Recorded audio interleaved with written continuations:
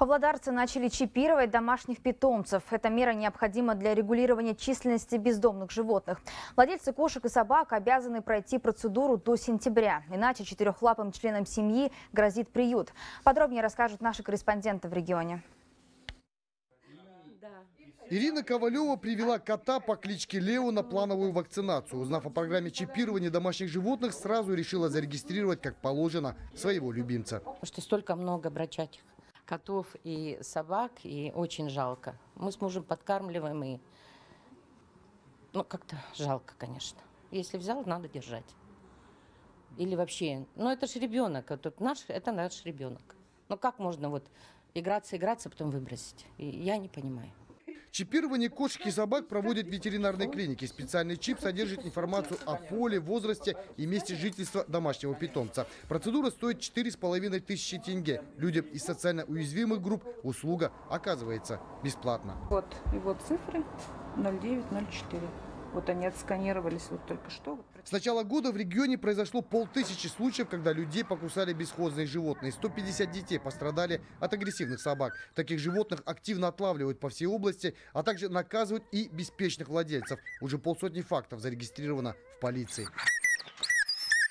Владельцы допускают самовыгул. Основная причина да, собак.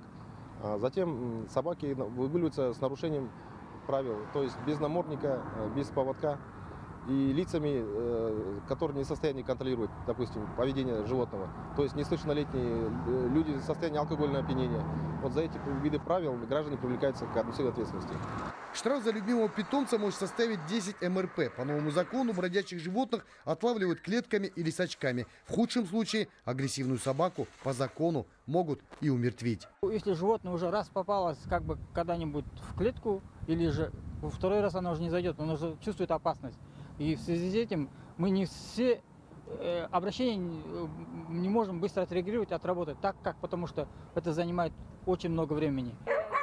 Отловленных животных помещают в специальный центр. Там их содержат два месяца, пока не найдут хозяина, а потом стерилизуют. В этом приюте живут 200 бездомных собак, и, надо признать, мало кому везет обрести хозяина. Но эта собачка явно вытянула счастливый билет. Сердобольный павлодарец решил забрать ее домой.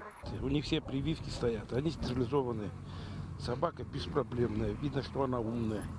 Со щенка неизвестно, что получится. А это уже все хорошо и понятно. У меня собачка умерла, поэтому мне собачку надо. Ветеринары убеждают, важно помнить и об ответственном отношении к питомцам, не допускать бесконтрольного размножения, поскольку все четыре частных приюта в области уже переполнены. Который год в Павлодаре говорят о строительстве государственного центра для бездомных животных. И дело вроде как сдвинулось, уже выделен земельный участок для очень нужного объекта. Ербулабишев, Марат Игликов из Павлодара, Хабар, 24.